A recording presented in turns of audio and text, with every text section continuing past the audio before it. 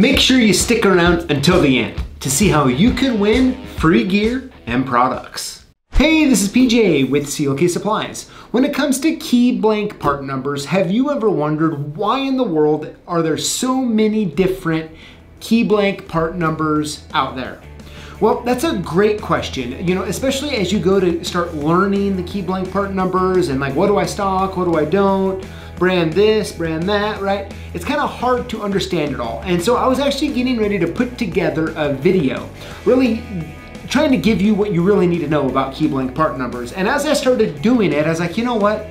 There is so much information in history that's kind of went on over the last hundred years that I better start at how this all started and kind of why things are they the way they are today. So this is gonna be a part one of part two videos here because I, I first wanna dive in, I wanna get you up to speed and I think if I can do a decent job at doing that, this, the second video will really help to make a lot of sense. So what I wanna do is take you on a journey, let's go back in time and let's go through the past 100 plus years of key blank manufacturing history. It's gonna be a lot of fun.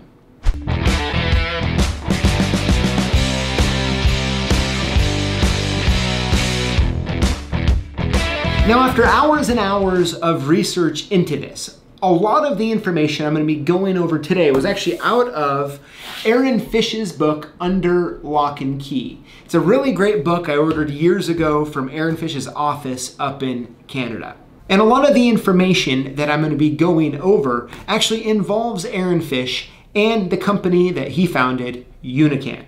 Now, Aaron did pass away on October 1st, 2020, and I sure hope it's my 100% intention when I'm talking about him and what he did and his legacy in this industry that I really show him a lot of respect for everything that he's accomplished. So, with all that said, let's go ahead and get started and have some fun. Now, our timeline is going to start in 1880. Now, of course, a lot of things happened in the key blank industry before 1880, but at some point I have to pick a start time and I'm gonna and I'm gonna pick it for a specific reason which we'll get to in a little bit. Now I'm gonna go through and add as much good information as I can as we're going through the years but please if you think I, I left something out or some fun fact that you think everybody should know definitely in the notes please include it. I would love to read it myself. So in 1880 a company by the name of Keil was formed in New York. Shortly after, in 1888, Lockwood was established in Connecticut. Now, we have to fast forward a couple decades. We're gonna get up to 1914 when Taylor Lock Company was established in Philadelphia. Now, this is where things start to get interesting. In 1917, there was a company established in Massachusetts, and that company name was the Independent Lock Company. Now, if you were to take their initials, IL and then CO for co, you're gonna get ILCO. So throughout the rest of the our, our talk here, I'm gonna be just referring to ILCO as ILCO, which is what they're known as today. So in 1917, ILCO was established. Then in 1931, ILCO acquires Keil and Lockwood. Now this is this is kind of a big deal if you think about the names that I've put out so far. Keil, Lockwood, Taylor, and ILCO. Next thing you know, Keil and Lockwood are now owned by Ilco, which at the time pretty much just leaves Taylor and Ilco. And in 1933, Dominion Lock Company was established in Canada. Now we need to fast forward a few decades to 1964, and that is when Aaron Fish established Unican. Now, Aaron Fish actually started up in Canada as a locksmith as a young man, and then later on became a locksmithing distributor up in Canada. Shortly after there is when he established Unican. Now, just a little side quick fact that I hope you'll enjoy is I'm gonna put a link in the notes below to a YouTube video where Aaron Fish actually um, receives a honorary degree and when he's talking to a bunch of um, college students, he's actually pushing them to get into the locksmithing and security business, which I thought was really cool. Now, when Aaron Fish established Unican, he was primarily um, looking at selling his own push button lock that he had made. Okay, and this lock part number was actually the CKLS 1800. Now, if you ask me, when you take the CKLS, I love those initials, right? I mean, you should play with those a little bit and see what see what you come up with. You know, but it actually stood for the Canadian Key and Lock Supply. But I don't know, if you take those initials, switch them around a little bit, I think you're gonna like what you find. But um, so what happened, so he establishes Unican, um, primarily selling um, this push button lock. Now, we fast forward here about a decade to 1972, Unican acquires Ilco. Okay, this was a huge deal from everything I've read about. This was a really big deal, and shortly thereafter acquiring the company, he actually moves it to Rocky Mount, North Carolina, where it actually is today. Now in the early 1970s, there was actually seven manufacturers making keys in the USA. Ilco, Taylor, Curtis, Cole, Star, Jet, and ESP. If you think about it, that's a lot of key blank manufacturing going on in the USA, which is pretty cool. Now, in 1985 is when Unican really starts acquiring a lot of key blank manufacturers. So in 1985, Unican acquires Dominion Lock, which is a which was a uh, key blank manufacturer up in Canada, the real big one up in Canada. In 1986, Unican acquires Taylor.